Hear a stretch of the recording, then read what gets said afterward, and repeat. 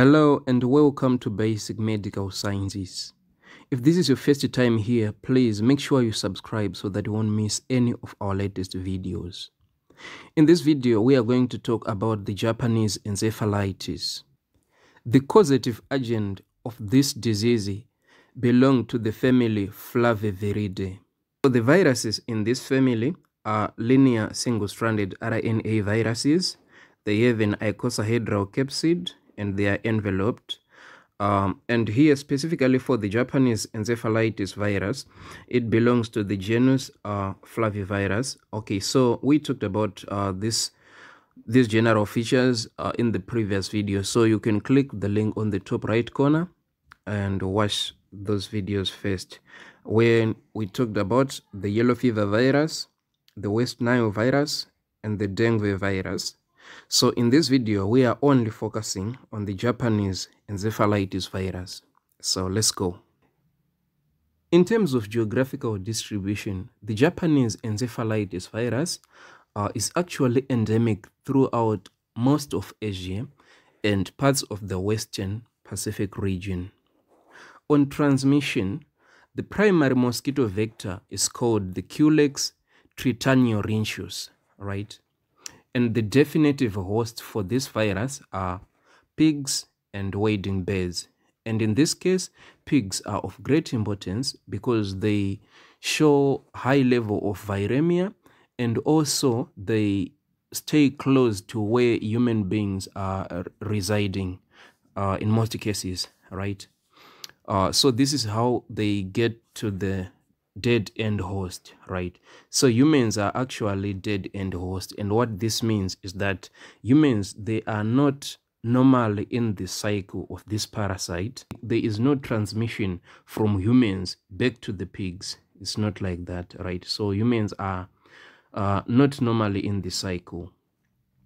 Okay, let's talk about the clinical features, right? The incubation period for this virus is 5 to 15 days. More than 99% of the cases are subclinical, and acute encephalitis is the most common clinical presentation, which will usually uh, be characterized by fever, vomiting, headaches, and generalized weakness. Uh, this fever can be a little bit higher and then uh, altered levels of consciousness will be noticed, right?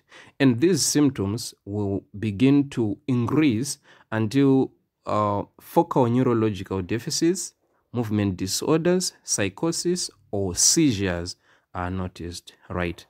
And in severe cases, coma, flaccid paralysis, and death can happen.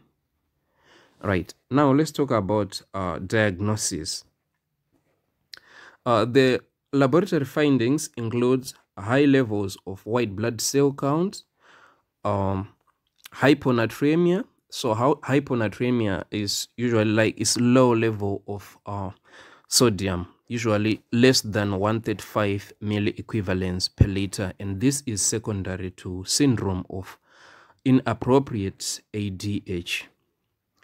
Uh, if we talk about an analysis of the cerebrospinal fluid, the result will usually be mild to moderate pleocytosis uh, with predominant lymphocytosis, right? So pleocytosis simply means like abnormally high level of lymphocytes in the cerebrospinal fluid. If we do imaging, right, the brain MRI is will usually show the hyperintense lesions in the thalamus, right? So this is specific for the Japanese encephalitis virus. So it will help to differentiate from any other conditions. And though these uh, lesions can also be found in the medulla and the pons, right? But for the thalamic, uh, the thalamic lesions is actually specific, right? So we can also take cerebrospinal fluid or serum uh, and then detect the IgM antibodies, right? So these antibodies, uh, they appear like three to eight days after infection, right? And a false positive can be realized uh, post-vaccination, meaning to say if the patient is just vaccinated, we can detect this IgM and then we, will, we can make a mistake that is actually uh, Japanese encephalitis virus positive, yet is only post-vaccination, right? Talking about treatment, uh, there is no specific treatment of this virus other than uh, supportive treatment, right? So on supportive treatment, we should mainly focus on control of intracranial pressure, maintaining the adequate cerebral perfusion, and controlling the seizures, right? And lastly, on uh, prevention, there is actually a vaccine, right? So this vaccination is indicated to people traveling to uh, endemic areas where they are going to stay for more than one month.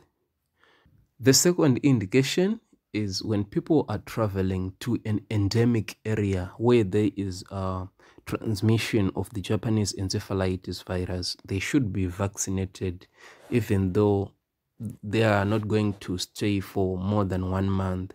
And the last indication, the third one, uh, usually children less than 15 years who are staying in areas where there is trans active transmission of the Japanese encephalitis virus, right?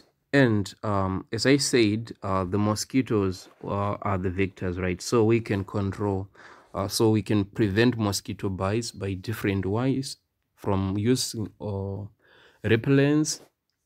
We can also use mosquito nets and getting rid of stagnant waters, etc. Thanks for watching. If you like this video, make sure you subscribe, leave a comment on the comment section, and until next time, head bowed.